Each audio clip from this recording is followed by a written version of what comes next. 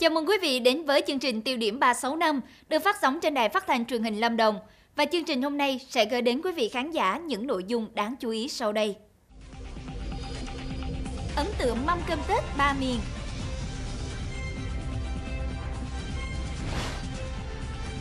Thành phố Hồ Chí Minh, nông dân trồng nấm công nghệ cao hốt bạc mùa Tết.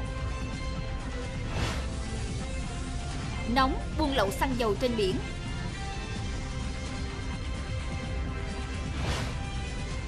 cảnh báo nguy cơ mắc các bệnh liên quan đến đường tiêu hóa trong dịp Tết Nguyên đán.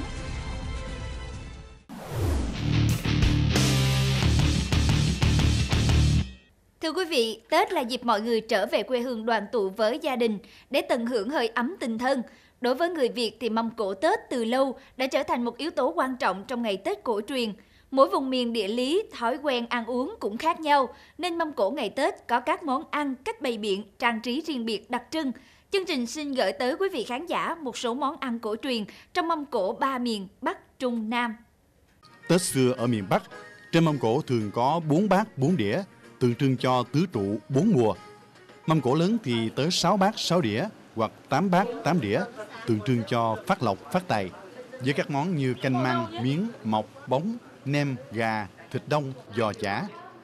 Trải qua các thay đổi của từng thời kỳ, nhưng mâm cổ Tết ở miền Bắc vẫn giữ bản chất đúng nét cổ truyền của dân tộc Việt Nam. Nhắc đến mâm cổ Tết miền Bắc, không thể không nhắc đến bánh chưng, loại bánh có lịch sử lâu đời trong nền văn hóa ẩm thực của người Việt, thể hiện sự kết tinh của đất trời. Đĩa xôi khất với màu đỏ, theo quan niệm là màu của may mắn, hạnh phúc. Một món ngon mà miền Trung và phương Nam không có được do yếu tố thời tiết, đó là món thịt đông, chỉ hợp với tiết trời xe lạnh của miền Bắc. Thịt gà luộc nhất định phải có chút lá chanh và những miếng nem rán vàng rụm cũng là những món không thể thiếu trong mâm cơm Tết của người Bắc. Tuy không phải là món chính, nhưng dưa hành với vị chua chua nhẹ được dùng ăn kèm với bánh chưng hay thịt đông là món chống ngấy hữu hiệu trong ngày Tết. Có thể nói, mâm cơm Tết miền Bắc có chút cầu kỳ nên thường được chuẩn bị công phu.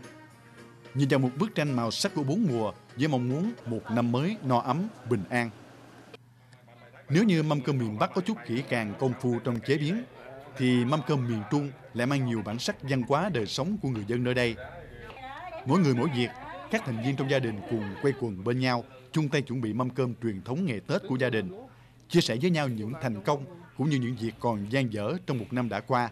Mâm cơm Tết, người miền Trung không thể thiếu được những món đặc trưng riêng như bánh tổ, cá chiên, củ kiệu, thịt heo, dưa món, bánh tét và nhất là không thể thiếu những món xào, món kho hay tô canh khổ qua đụng thịt. Những món ăn được bày biện không cầu kỳ nhưng mang nét riêng. Thức ăn được chia ra từng đĩa nhỏ trải đều trên bàn để ai cũng có thể thưởng thức được nhiều món khác nhau. Mâm Tết của người miền Trung là gồm có bánh tổ, bánh tét, à, cá chiên, với lại những món xào, món à, kho, với lại là dưa món. Đó là những món đặc trưng cổ truyền của miền Trung. Đó. ờ, ngoài ra thì mỗi gia đình có một cái đặc trưng riêng là người thì cúng đầu heo, người thì cúng gà. Đó là tùy gia đình. Mặc dù không quá cầu kỳ trong các nghi lễ như miền Bắc, nhưng những tập tục truyền thống của người miền Trung vẫn mang những nét riêng, thể hiện đời sống văn hóa tinh thần mộc mạc của người dân nơi đây. Năm nào cũng thế, cứ vào dịp cuối năm là căn bếp nhà chị Khánh ở quận Bình Tân, thành phố Hồ Chí Minh lại mang đậm hương vị ngày Tết phương Nam. Tết không ở đâu xa, ở ngay trong gian bếp với những món ăn cổ truyền đặc trưng không lẫn được với những vùng miền khác. Trên bếp, chị Khánh đang dần hoàn tất nồi thịt kho trứng và nồi canh khổ qua. Đây có thể xem là hai món chính không thể thiếu trong những ngày Tết ở Nam Bộ. Mình hay nấu ờ, ờ, canh ủ qua, ờ, thịt kho trứng để mà chào đón cái năm mới. À, canh ủ qua có ý nghĩa là à, một năm mới à, sẽ được an khang hơn và những khổ đau sẽ qua đi trong cái năm cũ. Những món dự trữ trong ngày Tết phương Nam không thể không kể đến bánh tét, lạp xưởng, dưa món, củ kiệu ăn kèm tôm khô, chả hay chả qua. Bánh tét là loại bánh mang ý nghĩa thiêng liêng trong ngày Tết, tượng trưng cho những người đi mở cõi phương Nam. Mâm ngũ quả đậm chất Nam Bộ với mãn cầu, dừa, đu đủ, xoài, sung, mang ý nghĩa nguyện cầu cho một năm mới đầy đủ, sung túc và no ấm. Một số món ăn cổ truyền có trong ngày Tết mang đậm bản sắc văn hóa ẩm thực của ba miền Bắc Trung Nam là nét điểm tô cho phong vị ngày Tết Việt Nam. Các món ăn cũng như cách trình bày các món ăn trong ngày Tết là một phong tục đặc trưng của người Việt. Mỗi vùng miền mang đến những món ăn khác nhau, nhưng đều có một ý nghĩa rất lớn là sự tưởng nhớ đến ông bà, tổ tiên. Mọi người trong gia đình sum họp đông đủ, cùng thưởng thức hương vị các món ăn ngon của ngày Tết, cầu mong một năm mới hạnh phúc, an lành. Thưa quý vị khán giả, Phú Yên có vị trí địa lý khá thuận lợi, có bờ biển dài 189 km, có nhiều vịnh, bãi, vũng, đầm, phá, gành, mang vẻ đẹp hoang sơ, là những cảnh quan sinh thái phong phú đa dạng. Biển đảo Phú Yên là điểm đến hấp dẫn đối với du khách những ngày đầu xuân năm mới. Tiềm năng du lịch nổi trội ở Phú Yên là có bờ biển dài 190 km với những ngọn núi cao của dãy Trường Sơn nối tiếp nhau chồm ra biển, nhiều đầm, vịnh mang vẻ đẹp hoang sơ, kỳ thú của thiên nhiên ban tặng. Trong đó Vịnh Xuân Đài, đầm Cù Mông, gành Đá Dĩa, đầm Ô Loan là những địa danh nổi tiếng thế giới và là tuyến du lịch phía Bắc thành phố Tuy Hòa. Thiên nhiên ban tạo cho nơi đây một cái vẻ đẹp mà rất là hùng vĩ, nó vừa gần gũi mà nó vừa rất là thân thiện thiên nhiên với môi trường. Tôi đã đến à, Việt Nam 3 lần nhưng mà Phú Yên tôi mới đến lần đầu. Cái cảm nghĩ đầu tiên của tôi thấy là cái vùng miền rất là đẹp và đặc biệt con người ở đây rất là hòa đồng và rất là mến khách. Hầu hết du khách đến với Phú Yên đều được trải nghiệm tham quan từ các đảo gần bờ như Hòn Yến, Hòn Chùa, Gành Đá Dĩa hay Bãi Môn, Mũi Điện. Và tất cả đều có một cảm nhận, đó là vẻ đẹp hoang sơ của biển đảo Phú Yên, mộc mạc nhưng ấn tượng và khiến ai cũng phải nhớ mãi khi đến nơi này. Tỉnh Phú Yên đang nỗ lực để tạo ra những sản phẩm du lịch độc đáo hấp dẫn, trong đó thực hiện liên kết tour đưa du khách đến những nơi mang đậm văn hóa đặc trưng vùng biển. Phú Yên điểm đến hấp dẫn và thân thiện là thông điệp và cũng là lời mời gọi du khách hãy một lần đến với nơi đây để cảm nhận vẻ đẹp độc đáo, hoang sơ, thơ mộng của biển đảo và cùng cảm nhận những nét đẹp văn hóa, sự thân thiện của con người xứ biển. Thưa quý vị và các bạn, Tết đến, người dân trồng nấm ở thành phố Hồ Chí Minh đã cho ra những mẻ nấm theo lịch đặt của khách hàng. Mô hình trồng nấm công nghệ cao này đang được nhiều nông dân triển khai và nhân rộng bởi tính khả thi và thu nhập cao của nó. Nghề trồng nấm đã được gia đình anh Trần Đình Khoa, ngụ phường Long Phước, quận 9, thành phố Hồ Chí Minh lưu truyền qua ba thế hệ. Nhưng đến giữa năm 2016, anh Khoa mới mạnh dạn chuyển đổi sang mô hình trồng nấm công nghệ cao. Thay vì trước đây, các hộ dân trồng nấm sử dụng lá dừa làm vật dụng chủ yếu để làm nhà trồng, thời gian lâu sẽ dễ sinh côn trùng hoặc mối mọt, ảnh hưởng đến chất lượng nấm. Thì đối với mô hình trồng nấm công nghệ cao này, nhà nông sẽ trồng hoàn toàn trong nhà kính, giúp kéo dài thời gian sử dụng và đảm bảo an toàn cho nấm. Thì so với cái cái ngành nông của mình thì cái mô hình trồng nấm này nó nó công việc của nó thì nó nó nhẹ nhàng hơn là cái cái công việc làm ngoài đồng án nhưng mà về cái thu nhập á, thì mình có thể nói khẳng định á, là cái thu nhập nó phải gấp rưỡi cho đến gấp đôi cái thu nhập từ cái ngành nông thường chúng hồi xưa thì à, mình thấy cái tiềm năng phát triển của nó là khá tốt cầm hai tay coi. Ngoài mặt hàng chủ lực là nấm linh chi, nấm bào gư, trung tâm còn trồng thêm nhiều loại nấm khác như nấm sò, nấm kim phúc, nấm mèo. Đây là một trong những nghề rất có triển vọng vì nấm là thực phẩm sạch, giàu dinh dưỡng. Nghề trồng nấm không đòi hỏi vốn lớn, kỹ thuật quá cao mà chỉ cần có tâm huyết với nghề, cần cù tỉ mỉ. Người trồng cần lựa chọn được giống tốt, hiểu rõ đặc điểm sinh học và chăm sóc nấm theo đúng quy trình mới có thể thành công được. Cây nghệ vàng là một loại dược liệu quý, tinh bột nghệ có thể chữa được nhiều bệnh. Vì thế, mấy năm gần đây, nhiều người dân vùng đồi ở huyện Lệ Thủy, tỉnh Quảng Bình đã phát triển mạnh việc trồng cây nghệ vàng mang lại thu nhập cao. Toàn huyện Lệ Thủy hiện nay trồng gần 100 hecta nghệ, trong đó các xã Mai Thủy, Trường Thủy, Phú Thủy, Văn Thủy, Thái Thủy, Dương Thủy, Tân Thủy là những địa phương hầu như nhà nào cũng trồng nghệ. Nhà ít thì một hai sào, nhà nhiều thì vài hecta. Nghệ ở đây không chỉ trồng tập trung trên các vùng đồi mà còn được trồng khắp trong các vườn nhà, ven đường, xen canh dưới các vườn cây ăn quả hoặc cây ngắn ngày như lạc, ngô. Cây nghệ có đặc tính miễn dịch hoàn toàn đối với mọi loại sâu bệnh, nên suốt trong quá trình sinh trưởng, tuyệt đối không phải sử dụng bất cứ loại hóa chất nào để bảo vệ thực vật. Nghệ bắt đầu trồng từ tháng 7 đến tháng 8 dương lịch và sau 9 tháng cho thu hoạch. Trồng nghệ đầu tư không lớn, kỹ thuật trồng không khó và không mất nhiều công chăm sóc, nhưng cho thu nhập cao. Tính ra, mỗi kg nghệ tươi có giá từ 14 đến 18 ngàn đồng, nên mỗi hecta nghệ cho thu hoạch đạt 200 triệu đồng. Nhờ đó, nghệ trở thành cây trồng có giá trị hàng hóa ngày càng cao, giúp nhiều người dân ở Lệ Thủy xóa đói, giảm nghèo và vươn lên làm giàu.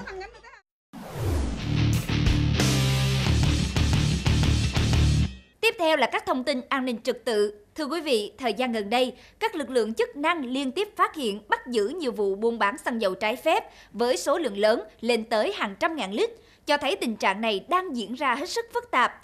Do lợi nhuận hấp dẫn, các đối tượng buôn lậu đã bất chấp mọi thủ đoạn nhằm đưa lượng lớn xăng dầu nhập lậu vào nội địa tiêu thụ. Trong đó chủ yếu các đối tượng lợi dụng vận chuyển bằng đường biển khiến công tác đấu tranh gặp nhiều khó khăn. Theo thống kê của Bộ Tư lệnh Bộ đội Biên phòng, chỉ tính từ ngày 2 tới ngày 15 tháng 11, các lực lượng chức năng tuyến biển đã phát hiện bắt giữ và xử lý 213 vụ việc, 563 đối tượng với 7 triệu 456 ngàn lít xăng dầu, thu nộp ngân sách quốc gia hàng trăm tỷ đồng. Trong vụ buôn lậu xăng dầu vào cuối năm 2015 vừa qua tại vùng biển thuộc khu vực Hang Ma, Vịnh Hạ Long, tỉnh Quảng Ninh, chiếc tàu QN4288 tại thời điểm kiểm tra không có đầy đủ hóa đơn chứng từ hợp pháp theo quy định. Trên tàu chở gần 94 tấn dầu FO và gần 18 tấn dầu DO lậu, trị giá ước khoảng hơn 1 tỷ đồng. Đây chỉ là một trong 7 vụ buôn lậu xăng dầu lớn trong vòng một năm trở lại đây. Điều đáng nói là công tác nắm tình hình, thu thập thông tin nghiệp vụ, phát hiện, bắt giữ những đối tượng buôn lậu trên tuyến biển khó khăn hơn rất nhiều so với tuyến biên giới đường bộ, bởi lẽ các đối tượng rất biết lợi dụng địa hình tuyến trên biển. Chúng dùng các cái ờ, thuyền có thể dùng thuyền cá của dân để vận chuyển. Cái thứ hai nữa là dùng các cái cái cái xuồng các cái có cái công suất lớn, các cái tàu của lực lượng chức năng thì như vậy là hầu như là không không thể như vậy bắt kịp được. Đối tượng buôn lậu sử dụng các phương thức tinh vi như lợi dụng loại hình tạm nhập tái xuất, ngụy trang phương tiện buôn lậu, hoạt động theo các loại tàu đánh cá, dùng phương tiện tàu thuyền có công suất lớn và hệ thống thông tin liên lạc hiện đại để thỏa thuận về thời gian, địa điểm, số lượng, chủng loại để sang mạng xăng dầu từ các tàu buôn bán trái phép xuống các tàu nhỏ tại các vùng biển cách bờ khoảng 40 đến 60 hải lý. Sau đó, neo đậu ở vùng biển giáp ranh hoặc vùng sông, khu vực có nhiều luồng lạch chằng chịt, rồi lợi dụng đêm tối, thời tiết xấu hoặc vào thời điểm lực lượng chức năng bàn giao ca để chuyển tải sang các tàu nhỏ vào bờ nhằm tẩu tán tiêu thụ. Vì vậy, các lực lượng chức năng cần quyết liệt hơn nữa trong công tác chống buôn lậu trên biển, đẩy mạnh đổi mới hoạt động đấu tranh chống buôn lậu trên biển, tập trung chủ yếu vào các đường dây ổ nhóm. Bên cạnh đó, việc hoàn thiện cơ chế chính sách pháp luật để hạn chế tối đa những lỗ hổng, tránh những đối tượng xấu lợi dụng cũng là điều quan trọng trong việc phòng và chống tội phạm buôn lậu xăng dầu trên biển. Theo nhận định của các chuyên gia, Trước đây, buôn lậu xăng dầu 100% là vận chuyển lậu từ trong nước sang nước khác do giá xăng dầu ở Việt Nam thấp hơn. Thế nhưng gần đây, xu hướng này bắt đầu ngược lại. Các đối tượng buôn lậu đưa ngược xăng dầu trở lại Việt Nam, chủ yếu bằng đường biển. Vấn nạn này gây ảnh hưởng đến nền kinh tế, làm nhà nước thiệt hại về thuế hàng ngàn tỷ đồng. Đứng chân trên địa bàn hai xã Mường Cai và Mường Hung ở huyện Sông Mã, đồn biên phòng Mường Cai có nhiệm vụ quản lý tuyến đường biên dài, khó khăn và phức tạp nhất của tỉnh Sơn La. Ý thức được trách nhiệm nặng nề, những năm qua, các cán bộ chiến sĩ đồn biên phòng Mường Cai luôn chắc tay súng bảo vệ vững chắc vùng biên cương của Tổ quốc, phản ánh của phóng viên tại Sơn La. Đồn biên phòng Mường Cai đang quản lý bảo vệ 17,75 km đường biên giới và 8 cột mốc, từ cột mốc 195 đến cột mốc 202. Đây là một trong những tuyến đường biên dài có địa hình phức tạp nhất tại tỉnh Sơn La.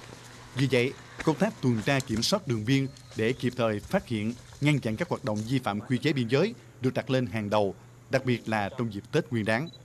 Chúng tôi ờ, thường xuyên tổ chức tuần tra khu vực biên giới, tuần tra cột mốc, ừ, kịp thời ờ, phát hiện, ngăn chặn các loại tội phạm, nhất là trong dịp Tết ờ, Nguyên đán này, tôi tăng cường tuần tra bảo vệ cột mốc bảo vệ cho dân ăn Tết Nguyên đán an toàn. Để đảm bảo cho người dân đón xuân an toàn, đồn biên phòng Mường Cai đã huy động 100% chiến sĩ ở lại trực Tết. Vì vậy, việc chuẩn bị Tết được các cán bộ chiến sĩ tại đây chuẩn bị chu đáo, từ việc chọn cành đào, chẻ lạc để gói bánh chưng, chuẩn bị lương thực thực phẩm ngày Tết, bày biện mâm ngũ quả. Đặc biệt là trong đồn năm nay có nhiều tân binh lần đầu được ăn Tết trong quân ngũ. Tết xa nhà, xa gia đình, xa bạn bè, tôi cũng cảm thấy rất là buồn. Nhưng mà ý thức được trách nhiệm ờ, của một người chiến sĩ, tôi thường xuyên ờ, thực hiện tuần tra, đứng biên cột mốc và bám nắm tình hình địa bàn để cho ờ, nhân dân được ăn một cái Tết thật là an toàn. Để đảm bảo an toàn trong cái dịp Tết Đinh Dậu thì cấp ủy chỉ huy đơn vị cũng đã triển khai 3 tổ đội công tác xuống địa bàn nắm tình hình trước, trong và sau Tết. Các tổ đội công tác sẽ cùng ờ, đồng bào các dân tộc đón xuân tại địa bàn phối hợp chặt chẽ với đảng ủy, chính quyền địa phương hai xã tổ chức chương trình văn hóa văn nghệ, thể dục thể thao cho cán bộ chiến sĩ và nhân dân ở địa bàn tổ chức đón xuân vui vẻ. Để đảm bảo cho đất nước nhân dân vui đón Tết, những người lính mang quân hàm xanh không quản ngại khó khăn vất vả, ngày đêm vững tay súng giữ từng tất đất nơi biên cương của Tổ quốc. Và dường như đối với mỗi người lính nơi đây, đón một mùa xuân mới tại đơn vị cũng như là một gia đình lớn của mình.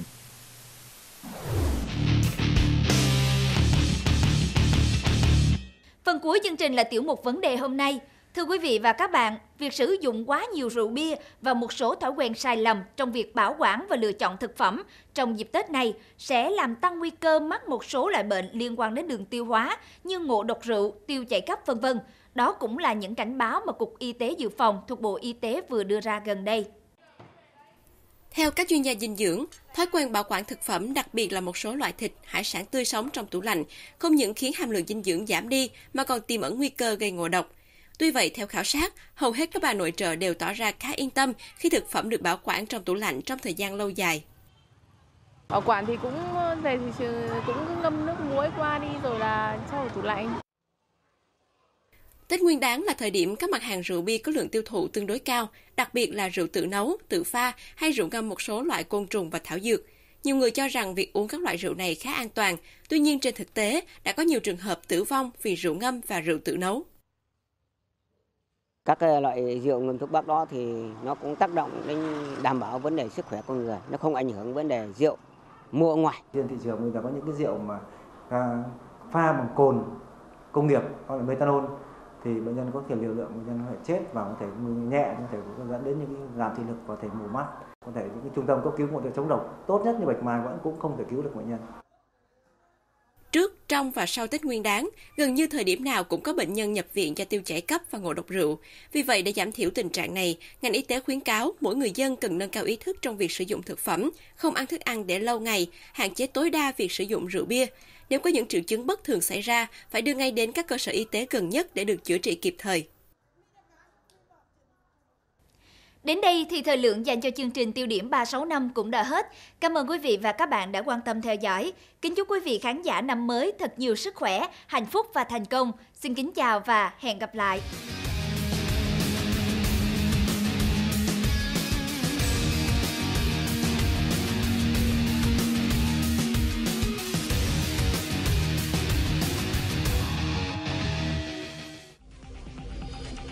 Hiệu quả tăng gia sản xuất của bộ đội ở trường Sa Đông. Đất sét nở hoa trong chai thư pháp, thú chơi độc đáo vào dịp Tết. Nhiều thách thức cho ngành thủy sản Việt Nam trên con đường phát triển bền vững.